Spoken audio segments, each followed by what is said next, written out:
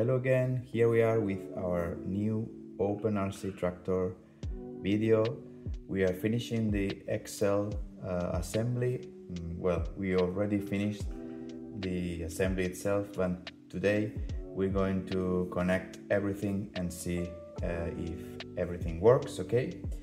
Uh, there is, it's not really difficult, but there is one important thing and that is that I'm using two ESCs, one for the main motors of the rear wheels and another one for the rear arms and also the PTO. When you're using two ESCs, it's really important that you don't connect positive cable on both of them, okay, to the receiver. So what I did is carefully I extracted this cable from inside and I insulated it, okay? So with that we're not going to have any problems. And let's go. Let's start with the connections. Okay. First of all there is no particular order but um, I'm going to for example connect main motors first. These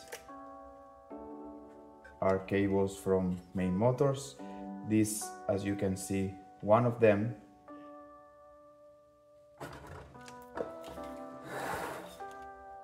one of the motors should be inversed because they work mirrored.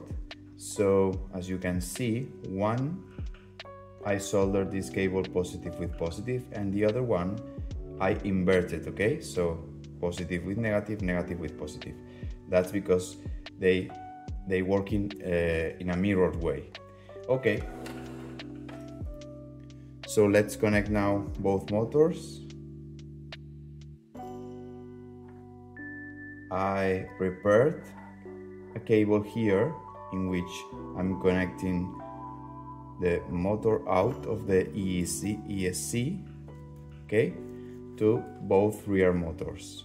Okay, I'm using this QuicRun 1060 brushed motor for these motors and it can work with 3S LiPo, so that's perfect.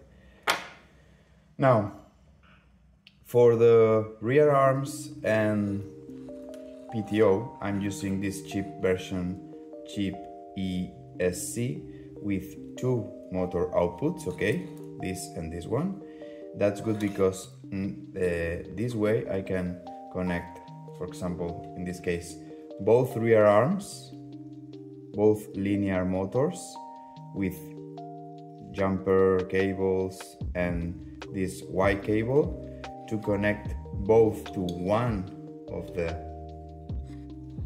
outputs, okay, motor output, and the PTO is here to the other one. That way, with the same ES ESC, I can control both, both motors. Now, uh, to connect to the receiver, okay, uh, you just have to connect everything. Remember, this is really, really important. Don't connect this positive because something might go really wrong. Um, just connect data and negative. I'm using this for channel in channel 5. Then this yellow cable is for the other channel. 4 in my case, data. First row is data, okay? Second row is positive and third row to the right is negative. In this case, already connected, okay, just the battery. And same with the main ESC. I'm using now channel 2 for this, for the throttle. And then the main steering servo with channel 1. Okay, that's perfect. Now, once, once we have everything connected, now it's time to check if everything works. Now, we have to connect batteries now. I'm using 2S small battery for rear arms and PTO. Okay. First, don't uh, don't forget, it's really important that you turn your radio on before connecting batteries. Okay, radio on. Now we have the radio connected we can connect battery for the secondary ESC and battery. I'm using 3S in this case. As you can see uh, with this tractor there is no problem of room so you can use even a 5000 um, 3S LiPo battery that's going to fit no problem. And in this case I'm using this smaller that's okay. So let's connect everything and check if that works. Steering. Perfect throttle. Be careful with the cables. Everything should be inside but just to test. Okay. And PTO one. Okay the other and rear arms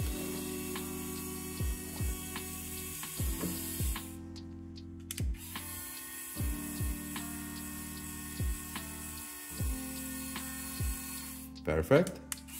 Again you can with the three switch position you can stop whenever you want and same with PTO is working. So everything works. Perfect. That's it. Now all we have to do is put everything inside. Uh, there is no problem no room problem here because this XL version has plenty of room for everything inside. Okay so that's it. All connected everything working. Hope that you like this new project this new design.